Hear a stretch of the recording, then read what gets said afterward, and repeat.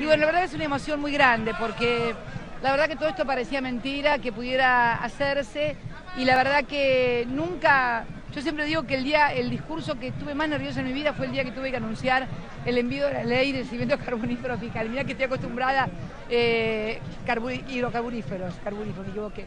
No ves que me pongo nerviosa cada vez que hablo del tema. Y este fue el momento, digamos, mira que estoy acostumbrada a hablar en la cámara, en los discursos, y nunca me pongo nerviosa, pero es que era una cosa que nunca pensé que realmente podríamos este, hacerlo, ¿no? Porque, y realmente, bueno, llegó el momento que además fue casi un momento casi obligado porque estábamos convirtiéndonos en importadores netos eh, de combustibles con un déficit para la Argentina terrible, perdiendo competitividad.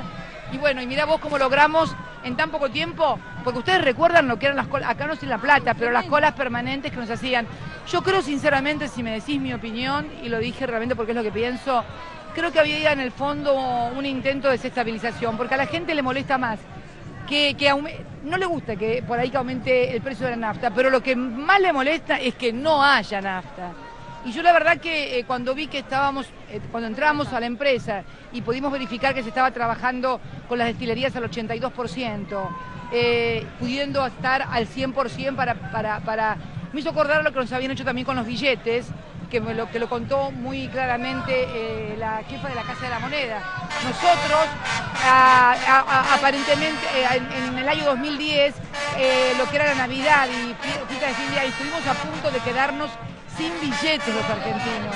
¿Te imaginas lo que hubiera sido la gente con plata, la fiesta, pudiendo comprar y no estar en físico porque no habían, bueno, porque había todo un plan de, de, desmantelamiento para que finalmente, pero yo creo que todo se concatenaba una cosa con la otra para crear un profundo malestar en la sociedad, porque no puede ser que de repente hayan desaparecido las colas una vez que se tomó la administración de IPF, ¿de dónde estaba esa nafta? Hoy una, hoy una medida, hoy una la, verdad, la verdad que realmente eh, me duele mucho porque yo la verdad que siempre he apostado, nunca, nunca he apostado en contra de nadie, al contrario, siempre en política, en mi vida profesional, me he esforzado por ser mejor yo eh, y no, no, en reventar al otro para quedar yo, sino en ser mejor yo. La verdad que no entiendo esa política, eh, bueno, así va el mundo, ¿no? Con esas políticas. Y la verdad que, eh, claro, siempre faltan cosas y van a faltar cosas. Yo siempre digo que estamos en el punto de partida, nunca en el punto de llegada, porque además el día que estemos en el punto de llegada es porque, bueno, ya, punto, te tenés que ir porque ya hiciste todo lo que podías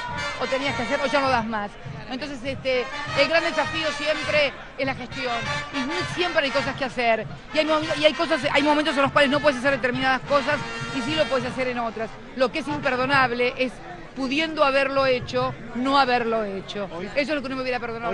Estamos muy contentos con que haya buenos convenios colectivos de trabajo, por lo cual queremos también que aumenten eh, la competitividad del sector porque son dentro de la masa de empleados registrados un sector que tiene muchos beneficios y está bueno que así sea y tienen buenos salarios y queremos que lo sigan teniendo, pero necesitamos también todo el esfuerzo, todo, porque esto no se hace solamente con un gobierno o con una conducción empresarial, o con, si no se hace fundamentalmente con el aporte de los trabajadores. Sin los trabajadores es imposible eh, y yo creo que los que más tienen que cuidar esto son los trabajadores, porque creo que han sido los grandes beneficiados en estos nueve años maravillosos, duros en lo personal, pero maravillosos en lo político que hemos hecho. Muchas gracias.